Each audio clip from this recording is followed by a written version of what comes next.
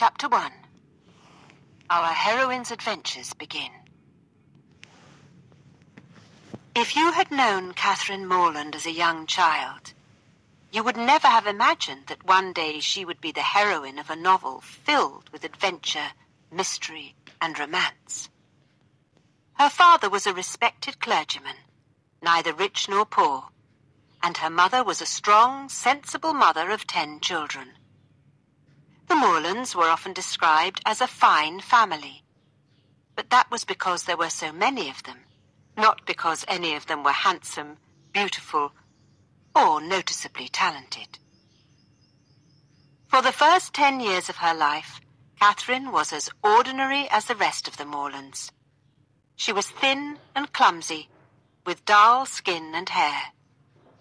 She spent her time throwing a ball, riding a horse, or chasing her brothers and sisters, while avoiding any ladylike activities, like arranging flowers, nursing a poor injured pet, or watering a pretty rose bush. And certainly Catherine's education could not be described as appropriate for a heroine.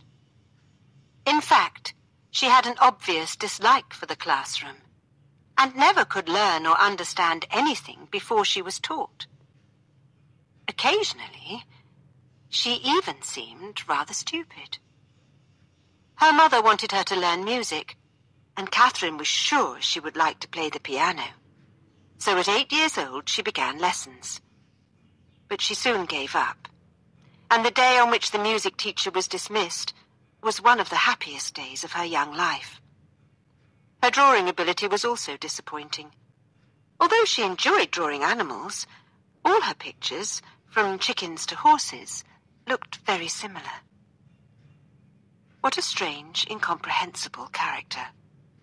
Incomprehensible because, in spite of such clear signs of a difficult nature, Catherine was seldom unpleasant.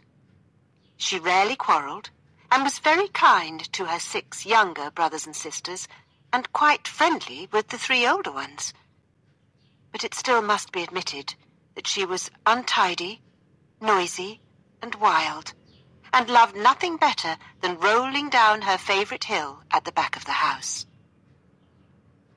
At fifteen, Catherine's appearance began to improve. Her skin was brighter, her hair was shinier and nicely styled, her eyes shone, and her figure was pleasing. Her love of dirt was replaced by an interest in the latest fashions, and in the possibility of going to a ball. She was quite thrilled one day to hear her father remark on her personal improvement. Catherine is almost pretty today. To be almost pretty is a great prize to a girl who has been plain for fifteen years. Catherine had never been interested in books full of facts and useful knowledge. But from the age of fifteen, she began to read the type of books which heroines must read. Stories of romance, adventure, and fantasy, set in mysterious foreign places. These supplied her memory with useful instructions about life, death, and especially love. And although she could not write poetry or play the piano or paint a picture, achievements we might expect in a heroine, she began, nevertheless, to admire those skills in others. At the beginning of our story, Catherine was seventeen and eager for life. But the world around Fullerton, the village in Wiltshire where the Morlands lived, did not offer the kind of adventure and romance that a heroine needs. Luckily for Catherine, Mr. Allen, the gentleman who owned most of the property around Fullerton, was required by his doctor to go to the city of Bath for a healthy rest. His wife, a good-natured woman with no children of her own, was very fond of Catherine she understood that a young lady of seventeen is ready to take her place in society. So she invited our heroine to accompany her and Mr. Allen to Bath for the season.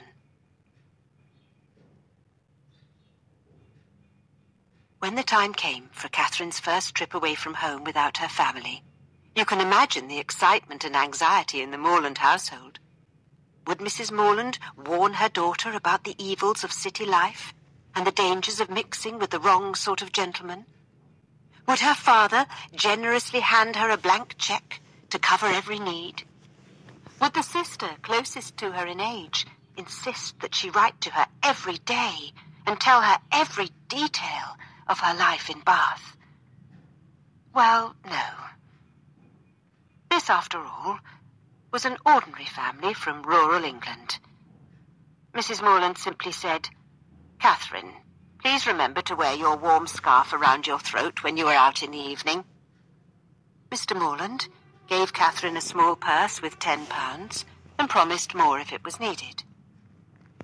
Catherine's sister Sarah shouted goodbye as she ran out to meet a friend.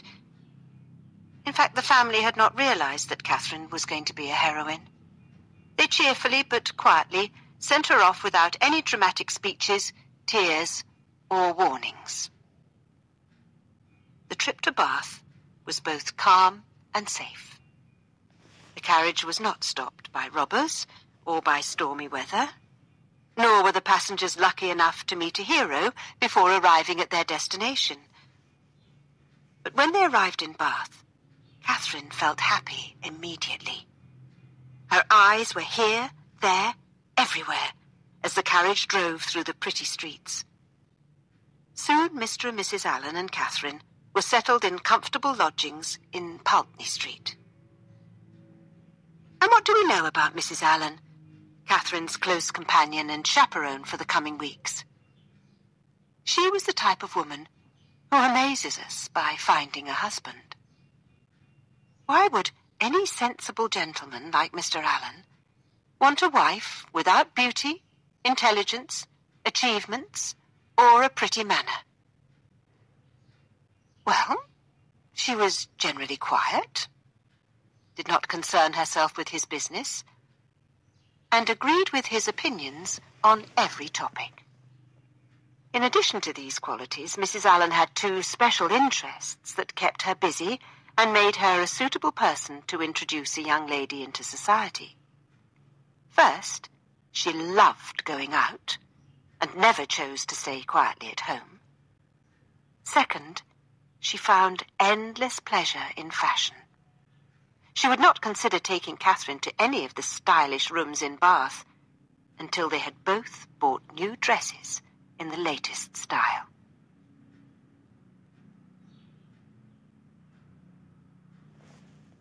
When they were ready to attend their first ball, Mrs. Allen declared that Catherine looked exactly as she should.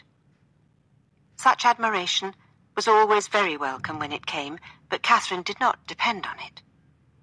Nevertheless, on this evening, it made her confident enough to face any crowd of strangers.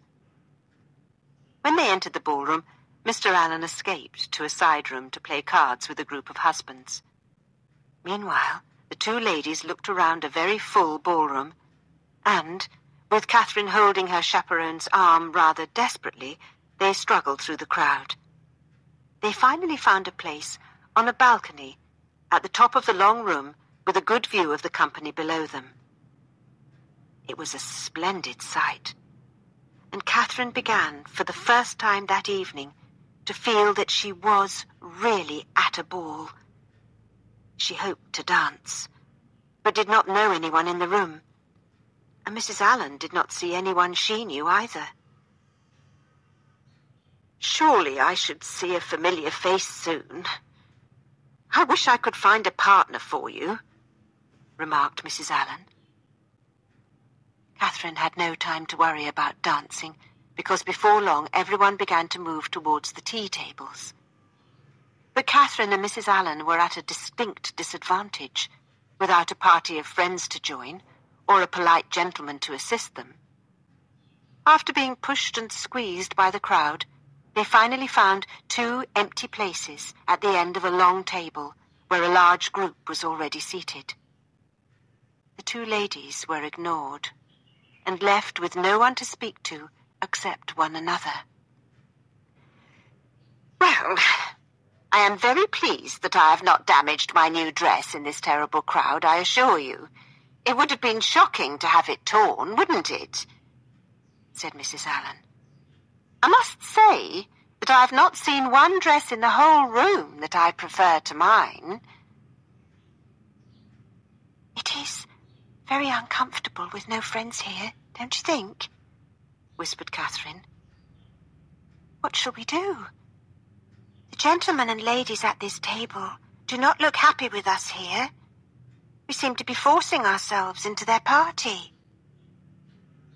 Yes, it is very disagreeable, said Mrs. Allen. My good friends the Skinners would rescue us if they were here now. Shouldn't we leave? There are no cups or plates for us here, you see, Catherine said with a worried frown. I think we should sit still, said Mrs. Allen. We shall be pushed and pulled in every direction if we try to find another place in this crowd. My dress could easily be damaged. Mrs. Allen, are you sure there is nobody that you know in this great assembly of people?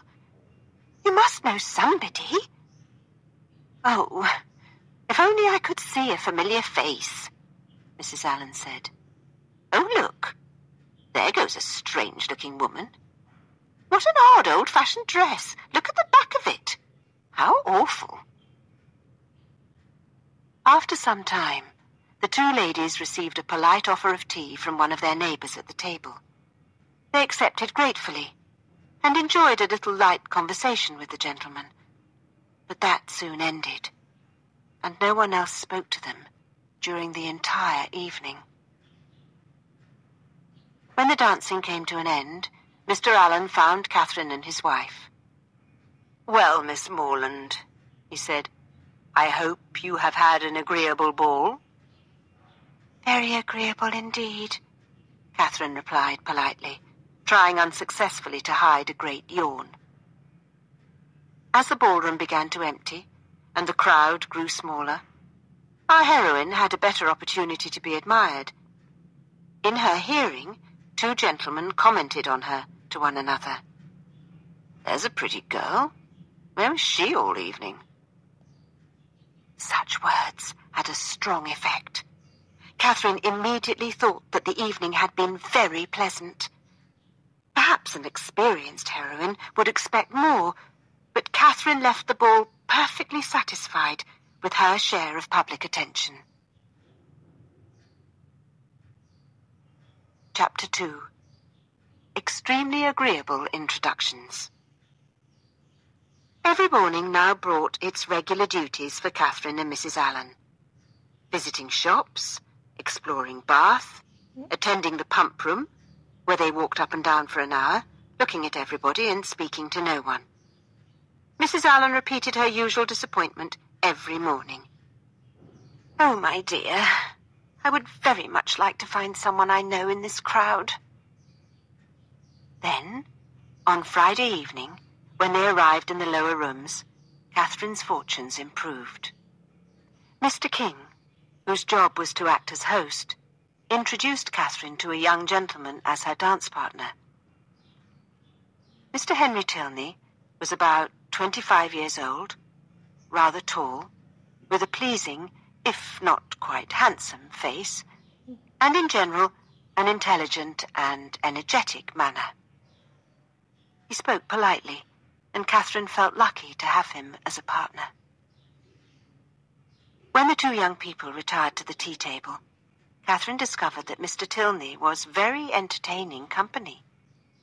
After some polite conversation, he said in a dramatic whisper, Miss Morland, I must apologize.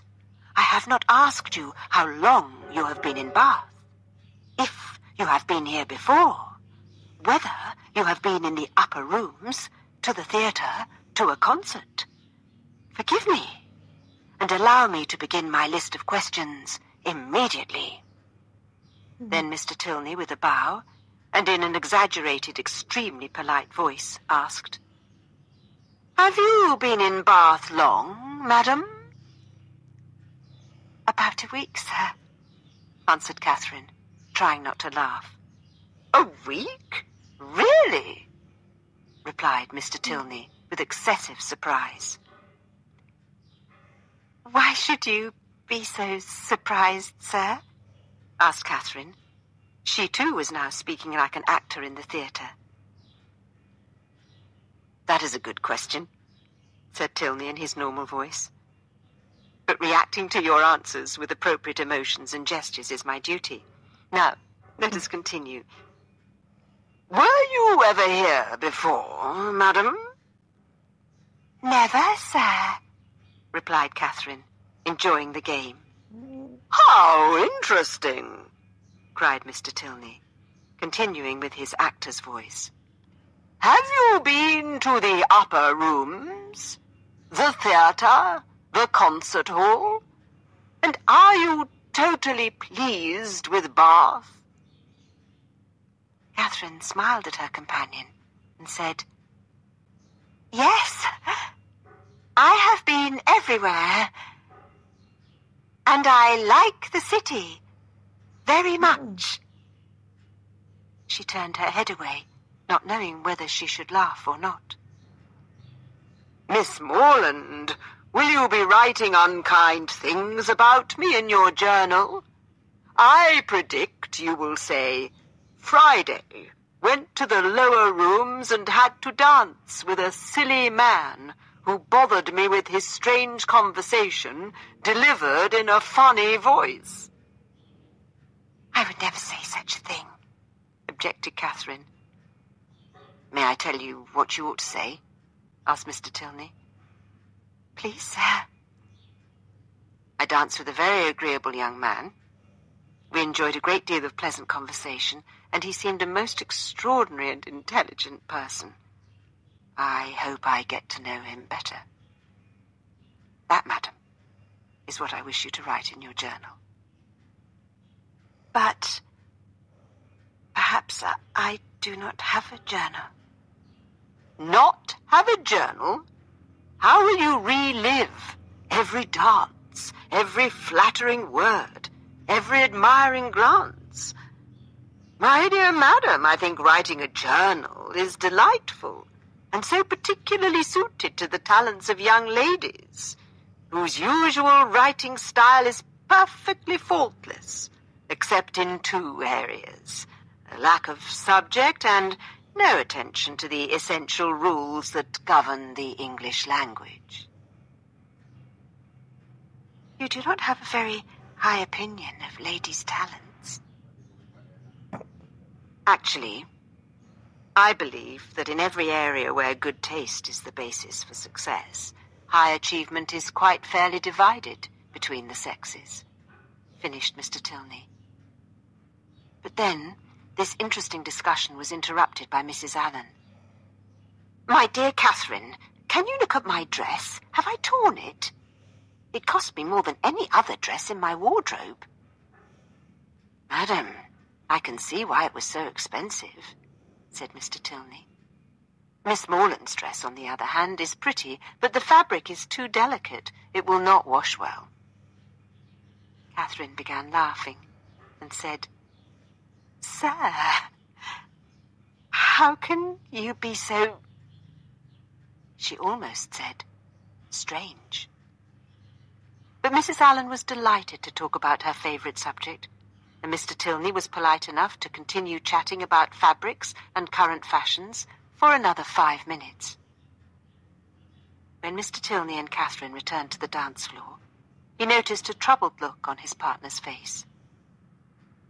What are you thinking of, so seriously? he asked. Catherine blushed. She had been wondering if Mr. Tilney had been too obviously teasing Mrs. Allen. But she said, I was not thinking of anything. You would not look so serious if something had not upset you. I would prefer to be told at once that you choose not to tell me what you are thinking. Well then, I choose not to tell you, replied Catherine with clear determination. Thank you, said her dance partner. Now I can tease you about your serious secret thoughts and opinions whenever we meet. Nothing brings people closer than a bit of teasing. They danced again, and when the assembly closed, Catherine, at least, hoped that there would be many more opportunities to continue their friendship. She did not intend to dream of Henry Tilney that night. As a famous writer has insisted, a young lady must not dream about a gentleman or fall in love with him before the gentleman declares his love for her. As Catherine's host and protector, Mr. Allen inquired about her dance partner. Discovering that Henry Tilney was a clergyman from a very respectable family in Gloucestershire, allowed him to feel satisfied that he had done his duty.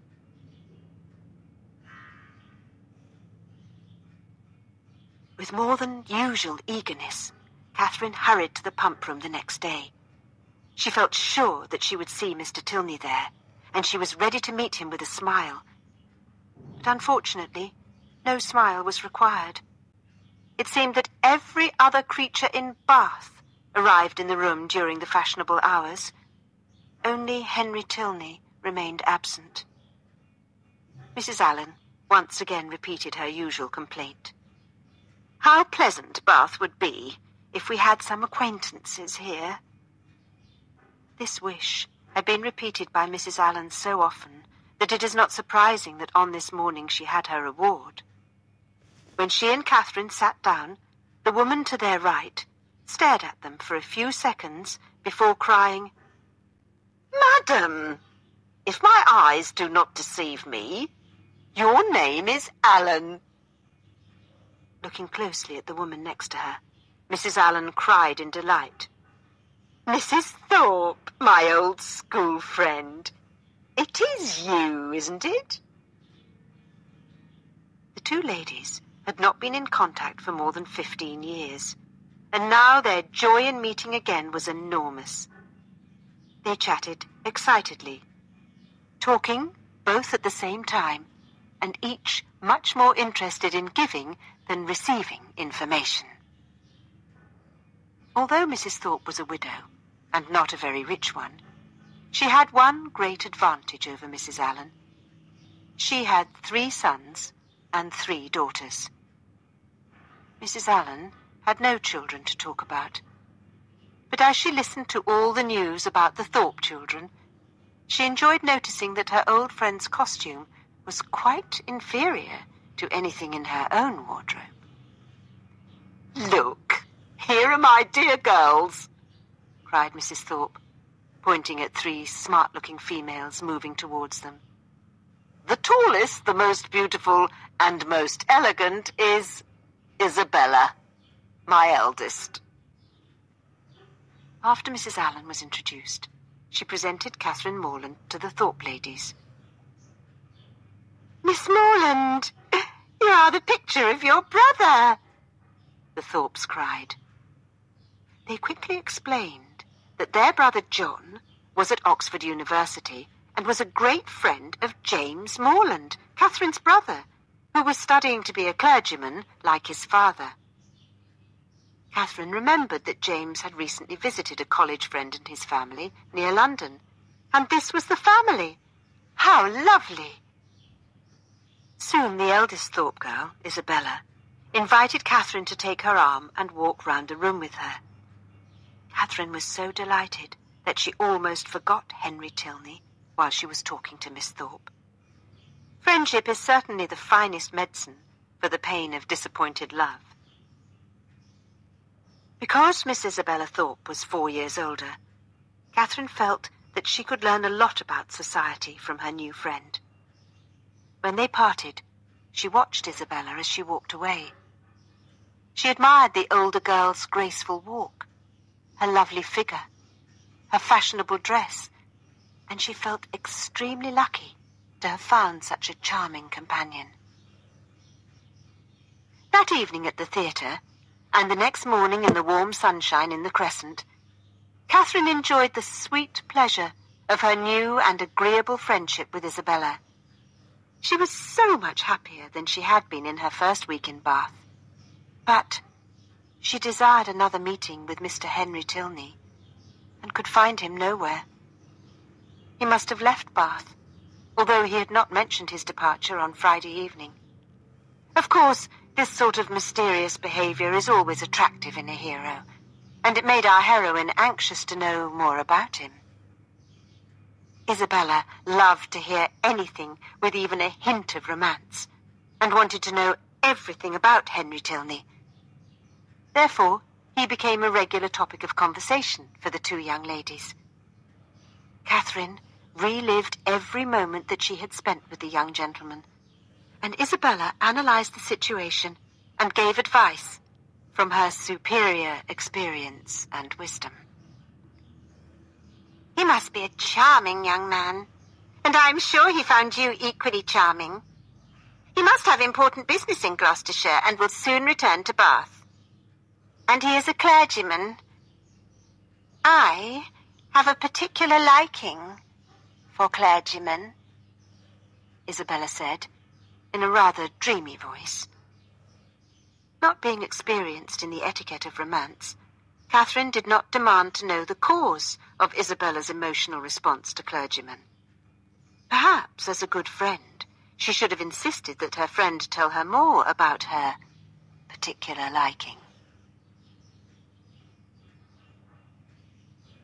The friendship between the two girls nevertheless continued to grow and to become more and more affectionate. Even if the weather was very poor, the two young ladies walked through mud and rain to sit together and read novels. Yes, novels. To many people, novels are considered to be nothing more than foolish nonsense. But why? Novels may not be as serious as books about history or science or even art. But novels have humor, mystery, culture, and elegance. Do not therefore say, Oh, it is only a novel. Read novels and learn everything about human nature in the most delightful language and through the most entertaining plots. Our two young ladies, you will see, had already learned this lesson. Listen to their conversation in the pump room after a friendship of only eight or nine days. My dear Catherine, Isabella began. I saw the prettiest hat you can imagine in the shop in Milsom Street. I must say that I longed to have it. But Catherine, what have you been doing all morning? Have you read more Udolpho? Oh, yes, cried Catherine. I am at the part with the black veil. You are desperate to know what is behind the veil, aren't you? Do not tell me. I know it must be Laurentina's bones. Oh, I love Udolpho. I assure you that only a meeting with you could persuade me to come away from it. How charming of you. When you finish Udolpho, I have a list of ten or twelve other Gothic novels that I am certain you will love, Isabella said. But are they all frightening and full of dark secrets and mysterious accidents? hoped Catherine. Of course, Isabella assured her. My friend Miss Andrews has recommended them to me. Miss Andrews is as beautiful as an angel, and I often scold men terribly for not admiring her. Scold them? Do you really scold them? for not admiring her? asked Catherine, who was quite shocked by Isabella. Yes. In fact, I told Captain Hunt at a ball this winter that even if he teased me all evening, I would not dance with him unless he admitted that Miss Andrews was beautiful. I am determined to show men that we ladies are capable of real friendship. For example, if I heard anybody say anything negative about you, I would quickly lose my temper. Of course, that will not happen, because you will always be a great favourite with the men. How can you say that? Catherine cried, blushing bright red. Dear Catherine, Miss Andrews is really quite dull compared to you. I saw a young man watching you yesterday and I am sure he is in love with you. Don't look embarrassed. I understand perfectly that your heart is attached to another man who shall remain nameless. I may never see Mr. Tilney again, said Catherine rather desperately. Don't say that I've lost my heart to him. I will not think about him. Instead, I shall worry about the black veil. Well, my dear, we will change the subject. Have you decided what you will wear tonight? I am determined to dress exactly like you. The men take notice of that sometimes, you know. Does it mean anything? asked Catherine innocently. Mean anything? I make it a rule to ignore what men notice or what they say. They are often very bold if you do not treat them with spirit and make them keep their distance. Are they bold?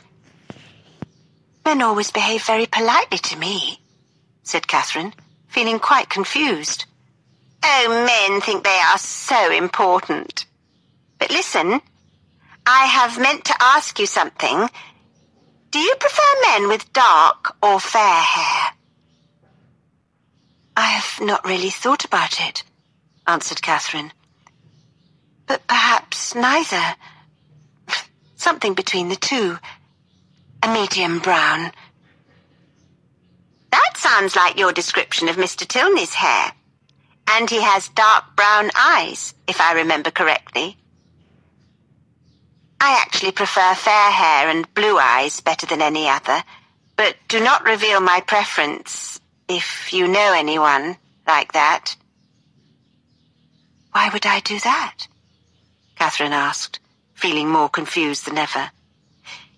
Catherine, let us drop the subject for now. Let us move to the other end of the room. I believe there are two bold young men near us who have been staring at me for more than half an hour. The young ladies walked to the book at the front of the room.